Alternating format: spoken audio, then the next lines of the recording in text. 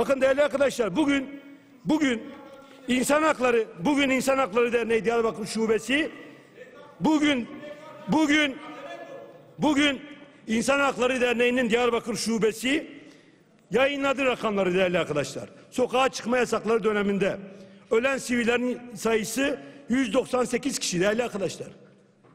Buna ne diyeceğiz biz?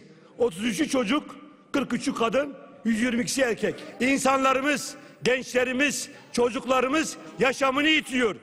5000 yıllık kadim kentlerimiz toplarla, tanklarla yok ediliyor. Kültürümüz yok ediliyor. Tarihimiz yok ediliyor ve bunun bedeli de Türkiye ve bütün yurttaşlarımıza hepimize ağır olur. ensonhaber.com